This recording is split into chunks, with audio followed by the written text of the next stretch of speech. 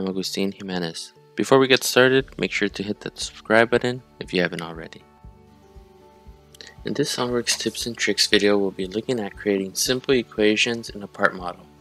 The equations capability of SOLIDWORKS allows for defining dimensions using global variables and mathematical functions to create relationships between two or more dimensions in parts and assemblies. Let's take a look at how we can add some simple equations to this part model. First, it may be helpful to display the feature dimensions in the graphics area. To do this, simply right-click on the annotations folder in the Feature Manager design tree and enable Show Feature Dimensions.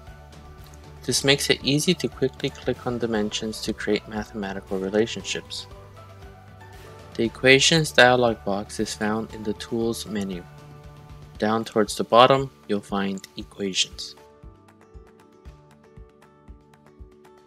In this dialog box, we can define global variables, suppress features, and create equations. We will create a global variable a and define it as a value of 5 inches. With this global variable now we can create some equations. I'll create the equation for the 5 inch dimension that controls the width of the bracket. Along with global variables, Various functions and SOLIDWORKS file properties are available to insert into your equations. This equation will be the dimension name, in this case d1 at boss extrude 1 is equal to the global variable a which currently is 5 inches.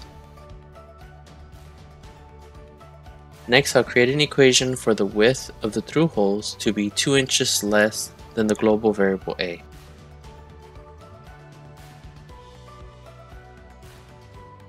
Now that we have seen global variables and equations made in the equations dialog box, I want to demonstrate that it is also possible to create global variables and equations directly from the graphics area. Start by editing the dimensions by double clicking. I want to create a new variable so I will delete the value, type the equal symbol, the letter I want to designate, and select the globe icon.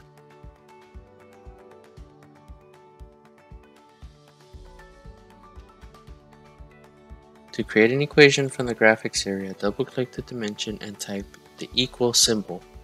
Add your equation using the global variables already created.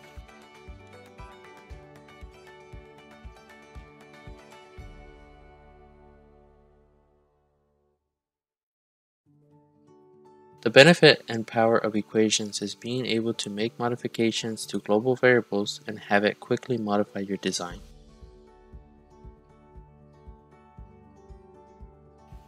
Here I am adding additional equations and making modifications to the global variables to demonstrate how they interact with each other and automatically make changes to the part model.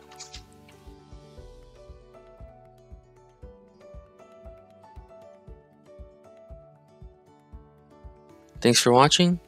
If you've enjoyed this video, please subscribe and leave us a comment below if you have a topic you would like us to cover in a future video.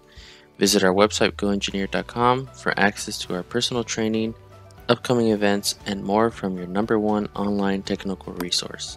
Bye for now.